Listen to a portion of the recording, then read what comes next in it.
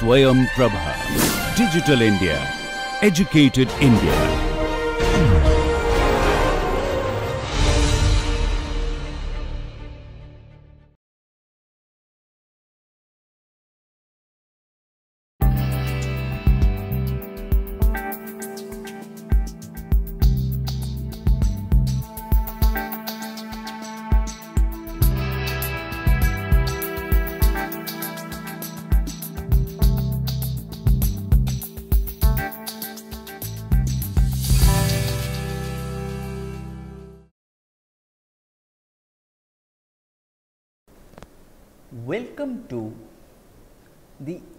Lecture of the course on sociological perspectives on modernity. In the last lecture, I mean in the seventh lecture, we have started with Marx and his theoretical and methodological positions to reflect on modernity and its constituents. Okay? We have discussed the way Weber contributed heavily to the development of substantive sociological theory and to the debate on methodology. We have also discussed how Weber's methodological writings, Weber's theoretical positions are usually characterized as effecting a reconciliation between positivism and neo Kantianism. I mean, at times Weber uh, uh, rejects the view attributable to uh, some neo Kantians um, that the cultural sciences um, are exclusively concerned with the uniqueness of their objects of study and the category of causality is inapplicable in them. And at times nonetheless, Weber was committed to neo-Kantian insistence on the methodological peculiarities of the cultural sciences. For, for Weber, these, these uh, methodological peculiarities are centered around two related concepts namely value relevance and interpretative understanding. For Weber, we have also discussed for Weber the cultural sciences differ from natural sciences in the distinctive role of valuations I mean value relevance in the formation of concepts and in the distinctive type of knowledge involved in them. And a third area of methodological differences was thought by Weber to be the use of idealizations in the cultural sciences. I mean there must be a uh, distinction between uh, cultural sciences and natural sciences in terms of value relevance as well as interpretative understanding of social action. Weber for, for Weber sociology in the sense in which this highly ambiguous word is used here is a science which attempts the interpretive understanding of social action in order thereby to arrive at a causal explanation of its course and effects. We have discussed I mean how there are uh, the I mean uh, how three things are extremely important in this case. I mean sociology is a science one, sociology is a science that attempts the interpretative understanding of social action two and any kind of interpretation must involve explanation. I mean when I say explanation I mean causal relationship, cause and effect relationship. Okay. And, and an exposition of Weber's methodological positions, theoretical positions can usefully proceed with an analysis of each of the concepts and contrasts involved in, in this definition of sociology by Max Weber. To begin with, we, we, uh, we discussed, uh, I mean first the concept of social action. I mean the, the characterization of sociology, if you uh, look at the characterization of sociology in terms of the understanding uh, and explanation of social action which involves two important contrasts. When I say understanding, I, I refer to the Neo-Kantian school of thought. When I say explanation, I refer to the positivistic school of. Okay. First, Weber is distinguishing uh, the, the, the, the paradigmatic objects of sociological knowledge for him. I mean those individual social actions, their meanings and causes from the supra individual social entities I mean states, uh, institutions, classes, uh, collective consciousnesses and so on whose existence is supposed in much sociological theorizing and also everyday thinking about social relations. Okay? We have already discussed this.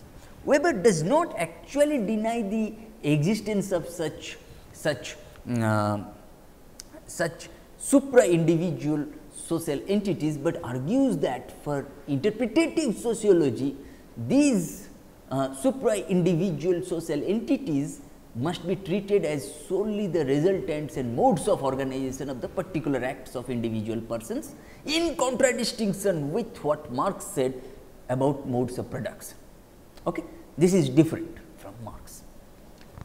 Weber's uh, position would uh, here would now be regarded as methodological individualist involving the claim that in so far as collectivities may be said to have uh, characteristics independent of the individuals which make them up, those characteristics have, are to be explained in terms of individual actors and their actions.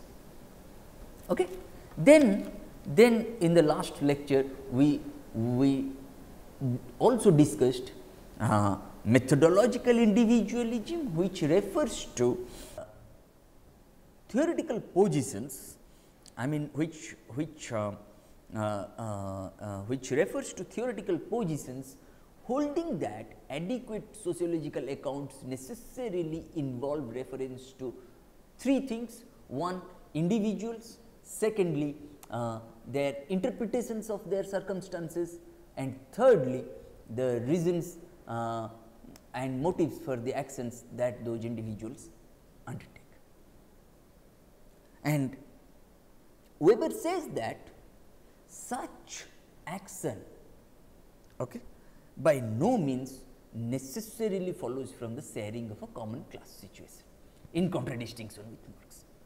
For, for Marx whatever collective action that, that we undertake okay, necessarily follows from the sharing of a common class situation. But here, but in the context of Weber, such action by no means necessarily follows from the sharing of a common class situation. Okay. And we stopped here in the last class. Now, in today's class, we are going to cover interpretative understanding, Verstehen um, and when I say interpretative understanding, I mean direct understanding and indirect understanding, alternatively known as observational understanding and explanatory understanding respectively. Okay? And uh, what is culture for Weber? Um, and then we will discuss uh, economic phenomena and, and the relationship between economy and religion. And then we will move on to uh, Weber's interpretation of modernity through the lenses of those four pillars of modernity namely uh, holism or totality, uh, reflexivity, rationality and social movements. Okay? Now, let us start with interpretative understanding. Prima facie interpretive sociology refers to a variety of forms of sociology on the on uh, uh, uh, united by an emphasis on the necessity for sociologists to grasp or understand or interpret actors meanings. It can legitimately interpret course of action in terms of concepts such as the state, classes and so on without commitment to any of the entities. In, in, in this case, then uh, I mean, I mean, further, I mean, moreover, interpretative understanding refers to a method that emphasizes on the importance of understanding of intentional human action. I mean, purposive human action. I mean, goal oriented human action. I mean, instrumental rationality. Okay? We have already discussed instrumental rationality as, uh, as compared to uh, substantive rationality. Substantive rationality aims at the means, the methods, the modes. Okay? Whereas instrumental rationality aims at goals, objectives, aims and so on. Okay? I mean, uh, when, when when I say uh, or when I uh, when Weber says that interpretative understanding uh, refers to a method uh, uh, that that stresses the importance of understanding of intentional human action, I mean he is a neo-Kantian. He, he deploys the method of neo-Kantianism because it, it involves interpretation uh, of multiple data systems. Okay? He is no longer a positivist here. Okay? Um, i mean this this this this school of thought okay uh, that also you will also uh, you can also find the traces of these the, or you can find the roots of these these this kind of thinking uh, in the Verstehen school of thought in Austria okay, that no uh, there cannot be any dichotomy between science and non-science. Okay. These dichotomies are artificially created. Okay. Uh, um, we must, uh, I mean, Verstehen school of thought, they, the, I mean, uh, this is, this is, uh, they were more guided by Neo-Kantian school of thought, okay, that um, we must look at uh, uh, we must we must challenge we must interrogate the demarcation between science and non science we must interrogate the autonomy of science absolute autonomy of science we must also interrogate the cognitive authority of science okay because science also is a social creation I mean all knowledge including scientific knowledge is socially caused as David Bloor said it. Okay? That is why for Weber interpretative understanding is a method which stresses the importance of understanding of intentional human action. Without goal, without objective, we do not have any kind of action. Okay? I mean, I mean uh, semantically, okay, any account is an interpretation. Okay. Uh, Weber considers understanding or or Verstehen. I mean, in German, uh, understanding means I mean Verstehen means uh, understanding. Okay, understanding means Verstehen. Okay. Um, Weber considers understanding or Verstehen to be a method of elucidating the motivations for action which did not prelude the sociologist making generalizations from the data. Okay.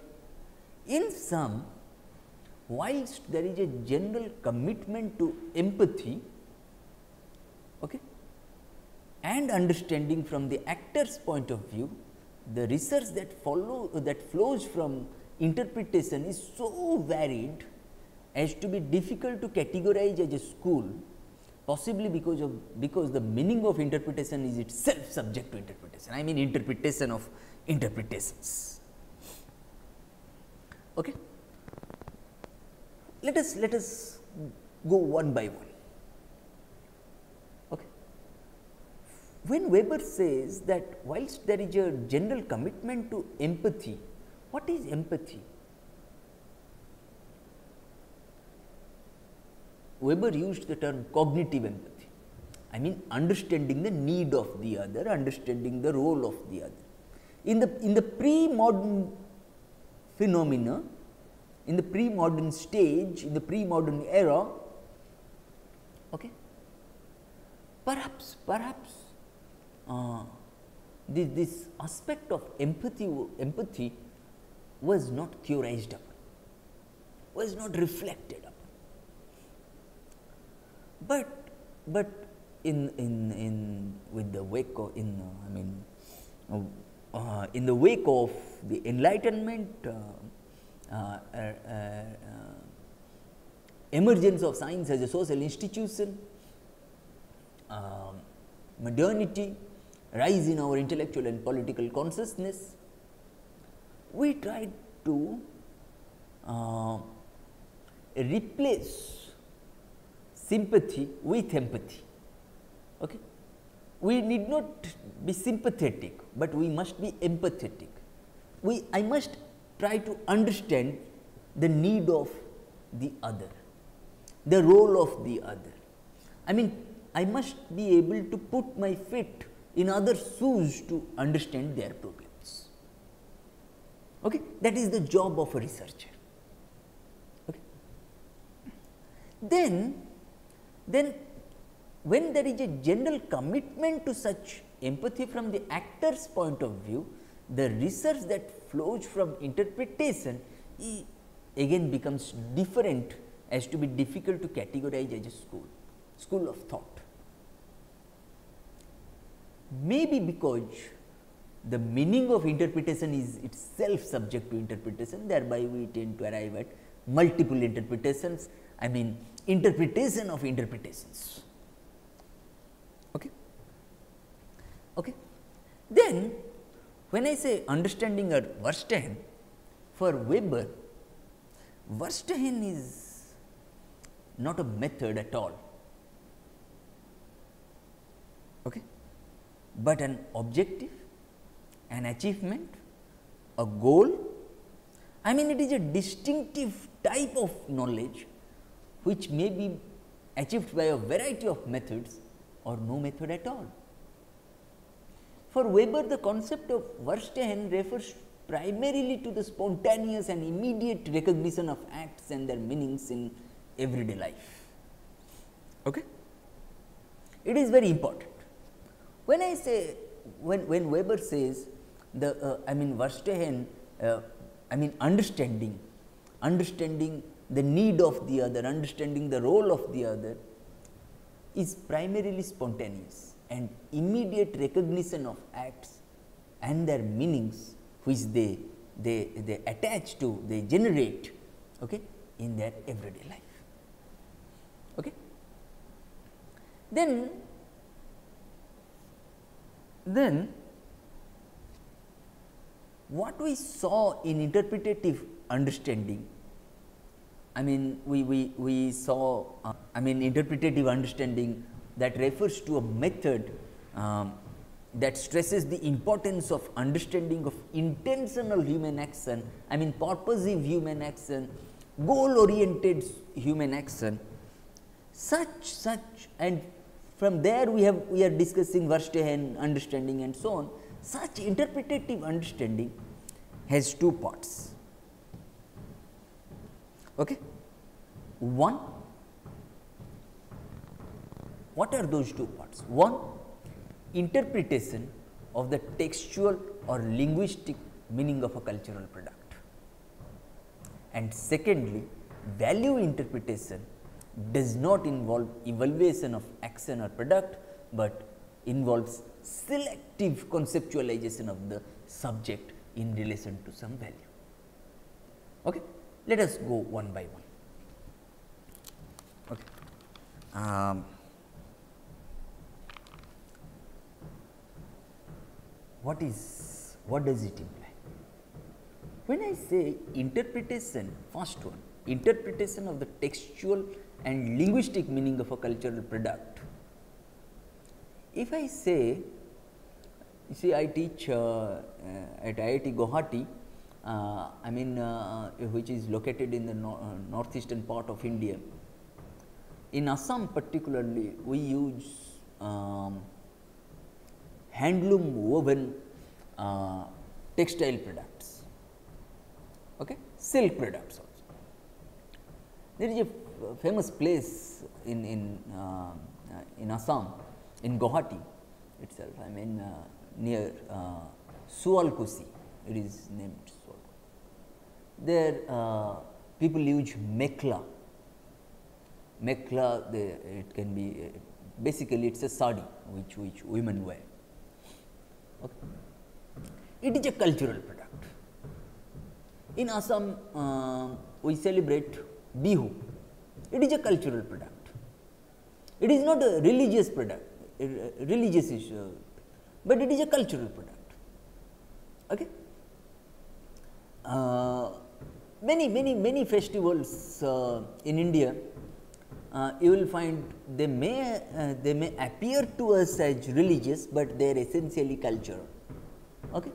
Uh, and and different textual and linguistic meanings are attached to it, attached to those cultural products. Okay. And secondly, when I say value interpretation, okay, because it emanates from that value relevance. Okay. Value interpretation does not involve whether I am going to evaluate or examine a particular cultural product or not. I am not going to do that. Rather, value interpretation involves selective conceptualization of the object in relation to some value. What kind of value? Be it social value, be it aesthetic value, be it cognitive value. Okay? Then somebody may say, what do you mean by those values? Social values, uh, aesthetic values, cognitive values, because in economics, value means people know only value in use, value in exchange, in economic terms.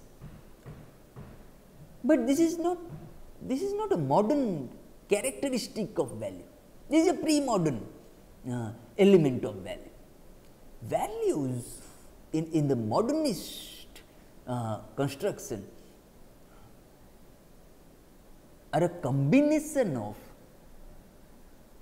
two things. One,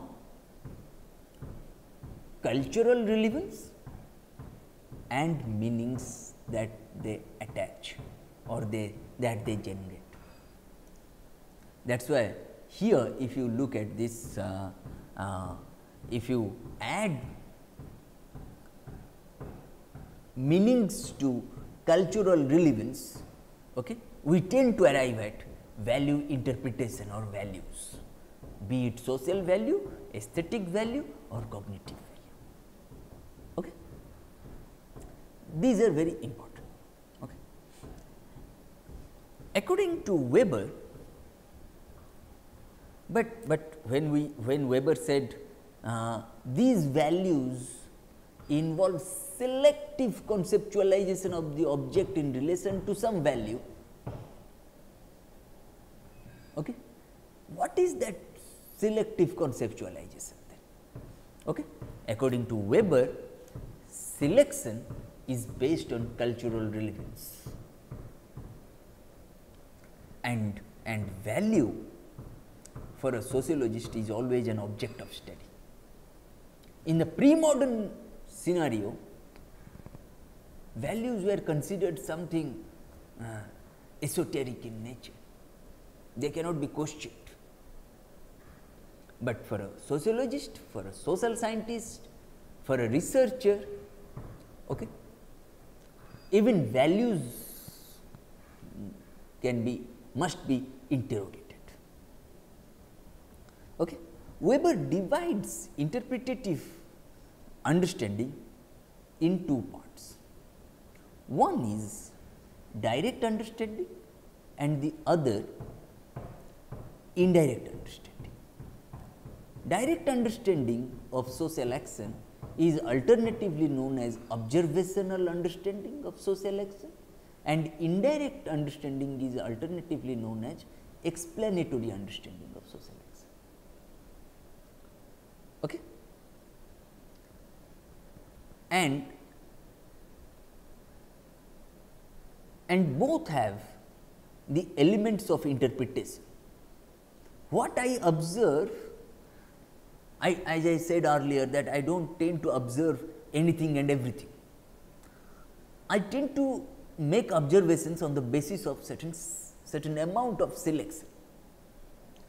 When I when I do that, when I when I tend to select from a wide range of phenomena, from a wide range of potentially observable aspects of nature,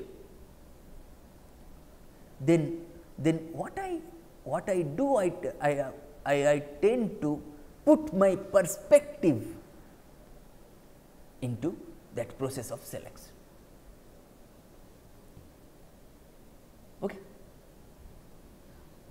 When I do that, I tend to interpret the way I have put my perspectives. Your perspective, if your perspective differs from my perspective, then your interpretation will differ. And let me tell you, nothing in this world is de ideological, nothing in this world is apolitical. If this is so, then we must have multiple interpretations. We will have uh, uh, interpretation of interpretations. Okay?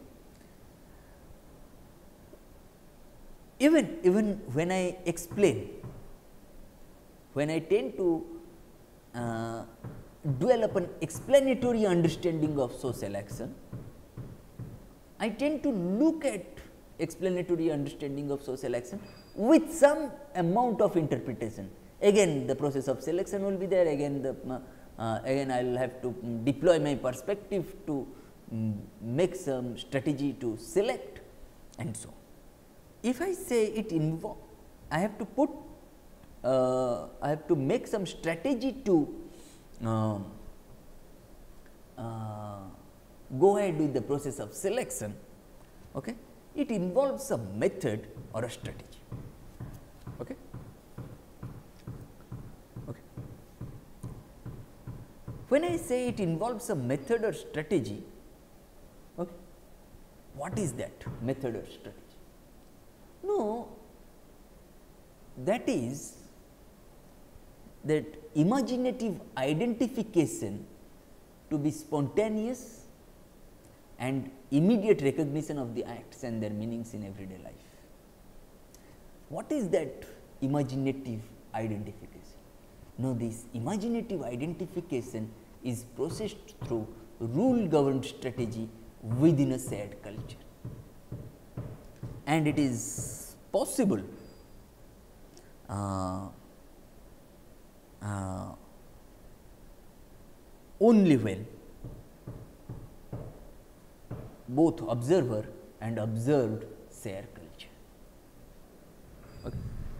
I mean it is possible I mean this, this imaginative identification is, which is processed through uh, rule governed shared strategy within a shared culture.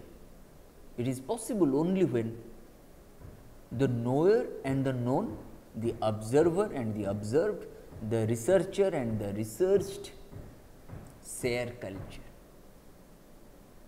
Okay? We will see if they do not share culture what will happen. But prima facie here we have discussed what is imaginative identification which is processed through rule governed shared culture, uh, I mean rule governed strategy within a shared culture okay, which is very important and, and from now onward we will see first of all what is that rule governed strategy within a shared culture?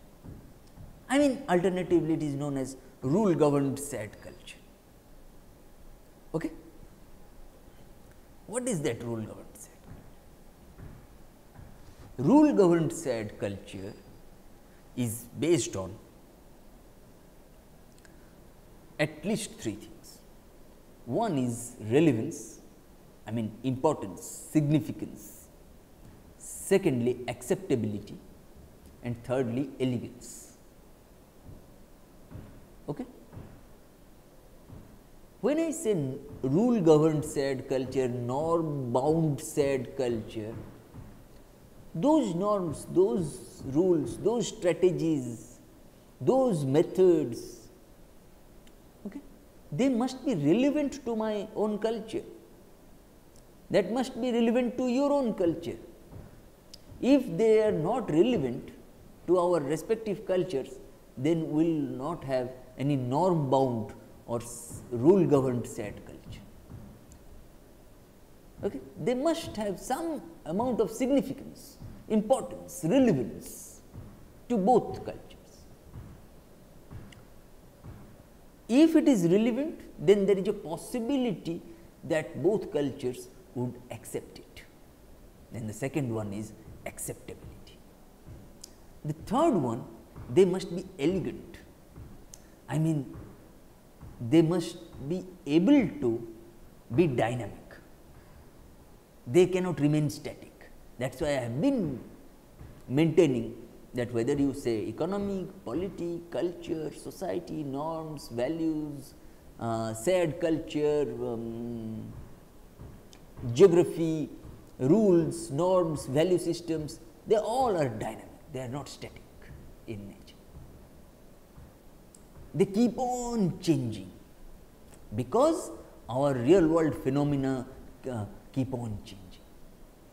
If our real world phenomena undergo transformation, then all these rules, norms, theories, they will also undergo changes.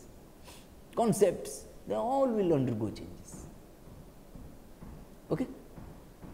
And there we must be able to select properly. That is why I said earlier that selection is based on cultural relevance. Suppose I will give you, let me give you an example.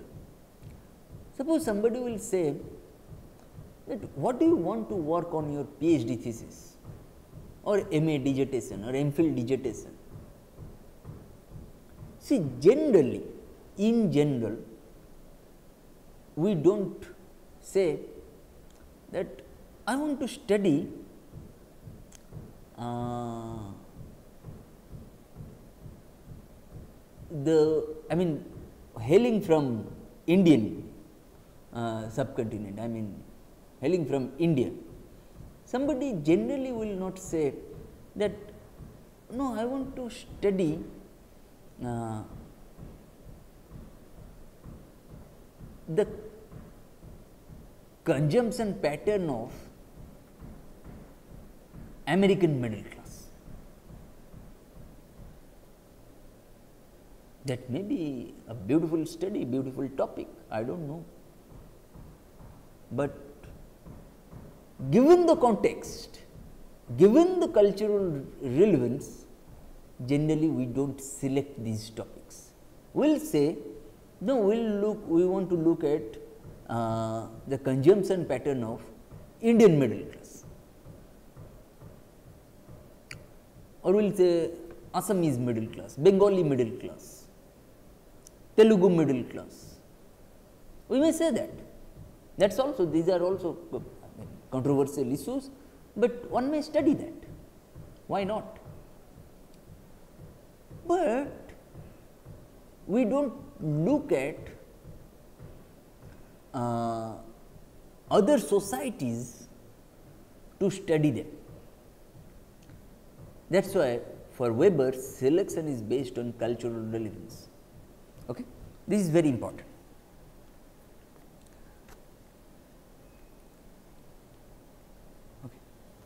Then as we have earlier said that this, this, this imaginative identification is processed through rule governed strategy within a shared culture, which is possible only when both observer and observed share, share culture, but there may be a situation when you will say see that no observer and observer and observed researcher and researched mm, mm, uh, knower and known, they do not share culture. Then what will happen? Then, then for Weber, if then if observer and observed do not share culture, then observer may give a different meaning. Suppose if I go to Australia, I want to study their culture, their food habits, their uh, the way they uh, uh, wear dresses, clothes, uh, the way they celebrate their festivals. If I do not have, if I do not attempt to make any kind of understanding about that system, then I'll, I may give a different meaning of meaning to those those uh, items, those products, those habits, those festivals. That is why if observer and observed do not share culture, then observer may give a different meaning or observed should get socialized into the culture that the observer wants to study. Then both will both both these things are uh, problematic. They may uh, pose serious threats to quality research, reliable research, okay, valid research. That is why uh, observed or observer uh, observed in fact uh, sh should give that account uh, which is reliable, which is valid and observer and both observer and observed must make an attempt to uh, uh, share culture uh, to an extent, so that that would enable them to, to make the, the production of knowledge more valid, more reliable and, and authentic. Okay? Then, then we are talking about observer, observed, shared culture, but, but actually what is culture then for, for Weber? Weber defines culture as the totality of real objects to which we attach generally acknowledged values or complexes of meaning constituted by language. Then what are what were real objects for for uh, Marx? The rational is the real, right? For for Weber, what is real? The real objects represent our culture culture is the totality of real objects, objects which are found in the real in, in, in the world of reality to which we attach generally acknowledged values or complexes of meaning constituted by values. For Weber, culture consists of all those items produced by human beings for the sake of value ends. For if, if, if this is so, if this is so, then, then for, for Weber, such understanding of culture, such, such Verstehen comprises two things. One, imaginative identification is useful I mean imaginative identification is, is processed uh, not to evaluate a, a, a, product, but it involves selective conceptualization of, of certain value. I mean may, maybe be it, uh, be it uh, uh aesthetic value, be it uh, social value, be it cognitive value. Okay? That is why this, this imaginative identification is useful but it is not an essential condition for a meaningful action. Okay. Secondly, what Weber emphasized on that uh, I mean we must recognize the rational connection between means and ends. When you when you try to when you attempt to make an understanding of the situation, circumstances, conditions in intentional human action, okay, we must try to make or we must try to recognize the rational connection between means and ends. That is why we must recognize the rational connection between uh, substantive rationality as well as instrumental rationality. Okay? This is very important. Okay? Then, then, then if when we when we come to indirect understanding, indirect or explanatory understanding, it involves two things. For Weber, to what extent we will explain? What is the, uh, if I say, no, this explanation is not adequate, this explanation is insufficient, then Weber came out very strongly, came up uh, very strongly when he said explanation must be adequate at the level of meaning. Meaning, meaning generation, meaning, meanings which are attached to individual social action and their entities, I mean individual social entities. Okay. At the same time, explanation must be adequate at the level of statistical generalizations. If when I say explanation must be adequate at the level of meaning, Weber was a neo-Kantian. When Weber said explanation must be adequate at the level of statistical generalizations, he is a positivist.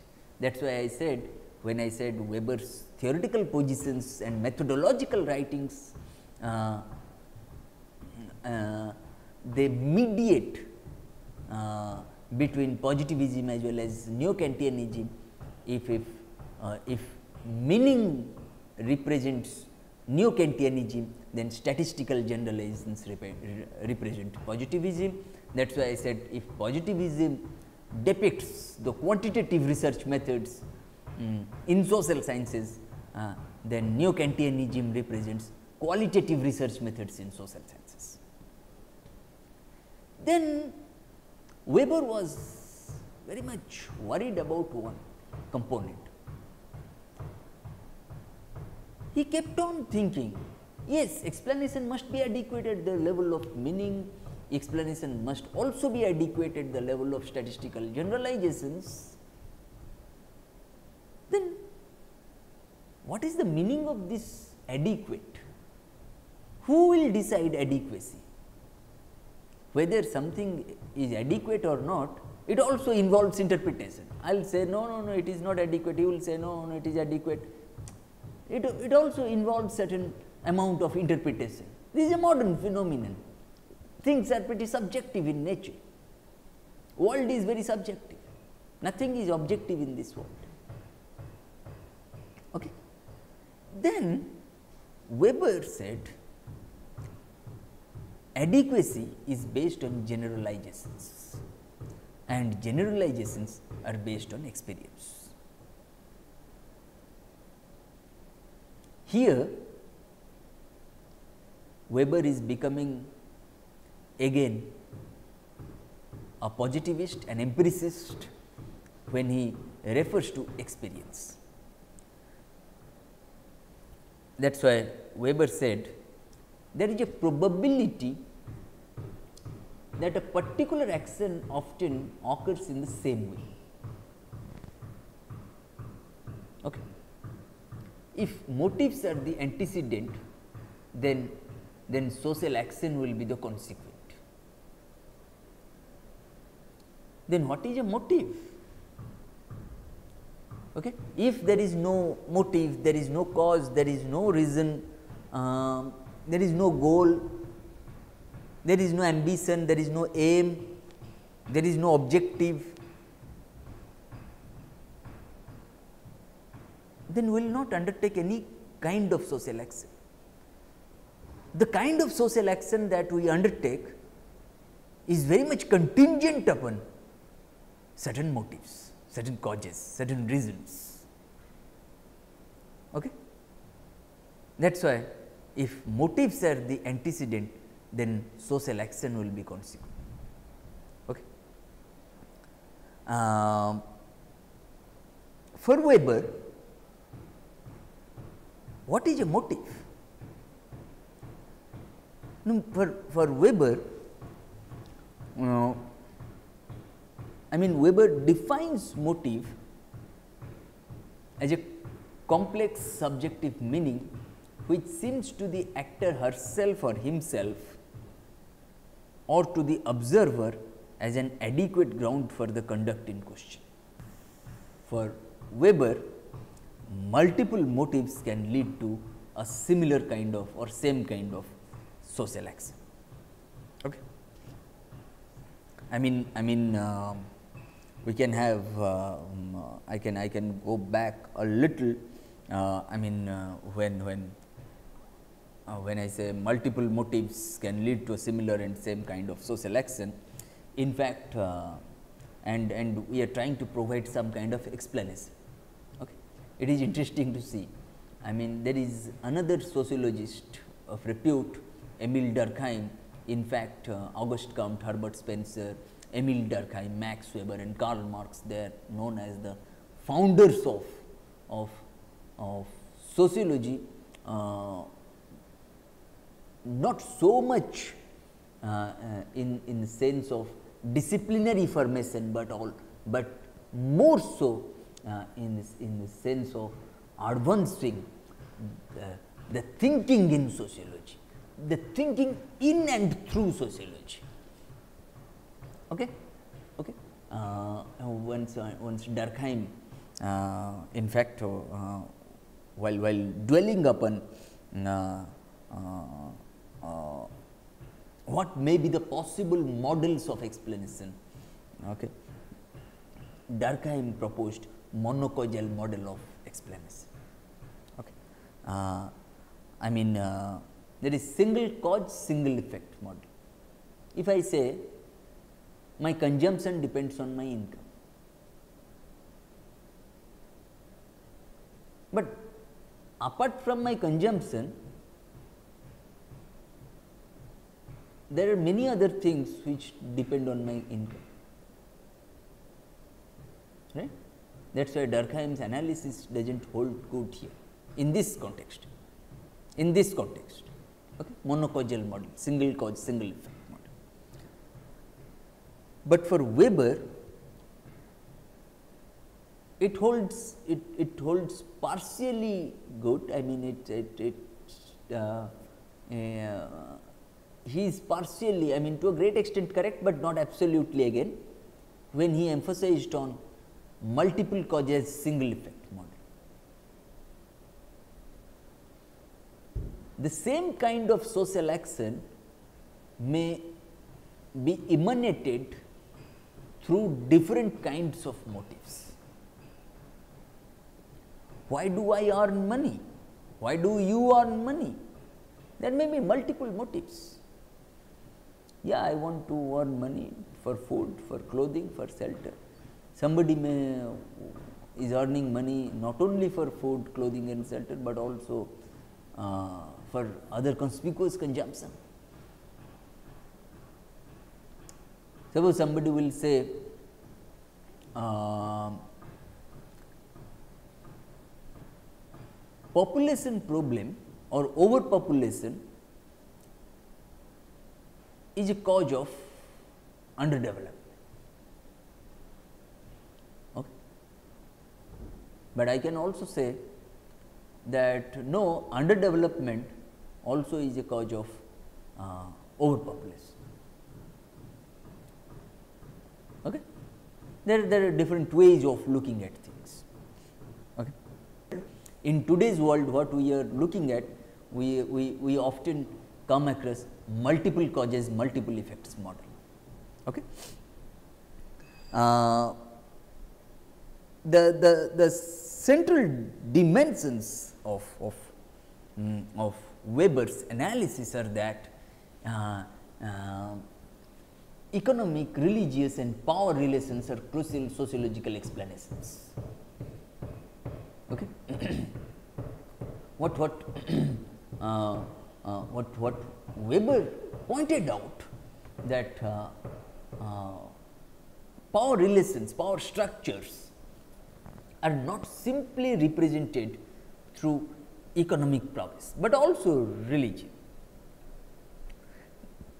To, to buttress the argument, to strengthen the argument, Weber made three types of economic phenomena. Okay. What kind? What, what are those three kinds of economic phenomena?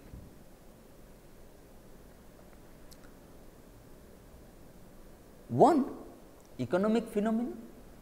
Secondly, economically relevant phenomena. And thirdly, economically conditioned phenomena. When Weber referred to economic phenomena, he tried to look at the institutions deliberately created and used for economic ends. Okay? Uh, economically relevant phenomena are those religious, uh, legal and religious phenomena which are not primarily economic, but have consequences uh, uh, which are economic in nature in certain circumstances. Suppose legal institutions, religious institutions, they are not primarily economic, but they have significant implications for, for, for economic power, economic prowess. Suppose if I have to give you an example of economic phenomena, institutions deliberately created uh, and used for um, uh, sorry uh, used for economic ends, suppose market. Market is deliberately created and used for economic goals, economic objectives, economic ends. But when you look at economically relevant phenomena, which are uh, I mean they are legal and religious institutions which are not primarily economic, but have consequences which are economic in nature in certain circumstances. Even a court, a temple, a mosque, a church, all these legal and religious institutions, they are not primarily economic in nature, but, but they have significant implications for the ways in which uh, economic laws are also applicable to them. And thirdly, Weber pointed out economically conditioned phenomena.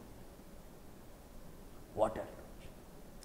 I mean, Weber refers to the stratification systems and the state. I mean stratification systems, I mean hierarchical structures, caste, race, class, gender, ethnicity, nationality, citizenship, okay? rural urban uh, divide. Okay? They are, they are all stratificatory systems. Okay? These stratification, uh, stratification systems as well as the political institutions namely the state are not directly the economic phenomenon. Obviously, the state is not an economic phenomenon, economic institution. The state is always a political institution. Okay? But it is, but the state is very much conditioned by economic phenomenon, though it is a political institution. Those stratification systems, mostly they are social institutions, maybe caste, gender, patriarchy, um, uh, um, race, um, uh, um, uh, class, ethnicity, nationality, citizenship, they are, they are mostly their social institutions, their economic institutions, their political institutions, political phenomena, but, but they are affected in some way by economic phenomena. Okay. In this sense, in this sense, in this sense, uh, uh, Weber uh, made the way Weber made uh, three types of economic phenomena namely uh, economic phenomena, uh, economically relevant phenomena and economically conditioned phenomena. Okay. The way he made that, okay, uh, it is also important to, to, to see uh, how economy and religion cannot be separated in our day to day life for Weber, not for Marx, not for Marx, okay? Mm. but for Weber. In the, in the modernist construal, in the classic statements of sociological modernism, okay, these two are the standout performers and, and, and uh, uh, you will see that why Weber uh, stressed on um, the relationship between economic economy and religion can be understood through these these uh, three types of economic phenomena. Okay? Okay? Then what we have discussed today? We have in this lecture we have discussed we, we started with uh, interpretative understanding, I mean interpretive sociology, I mean how interpretative understanding is a method that stresses uh, the importance of understanding of intentional human action. Okay. Then understanding a Verstehen. Okay. Mm, uh, uh, then we have discussed how Verstehen uh, is not a method at all, but an objective, an achievement or a goal. It is a distinctive type of knowledge which may be achieved by a variety of methods or no method at all. I mean the concept of Verstehen refers primarily to the spontaneous and immediate recognition of acts and their meanings in everyday life.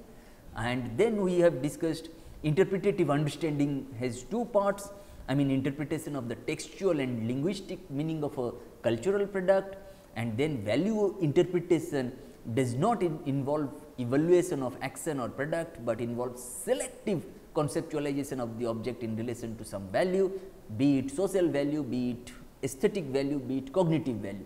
And values, I mean value interpretation is a byproduct of uh, the combination of cultural relevance and meanings uh, and the way we select is based on cultural relevance. Value for a sociologist is always an object of study, interpretative understanding may be of two types, direct or observational understanding, indirect and explanatory understanding.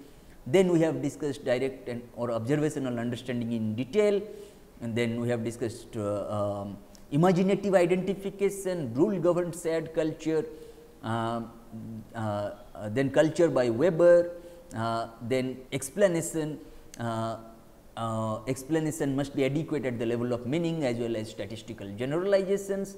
And adequacy is based on generalizations and ge generalizations are based on experience.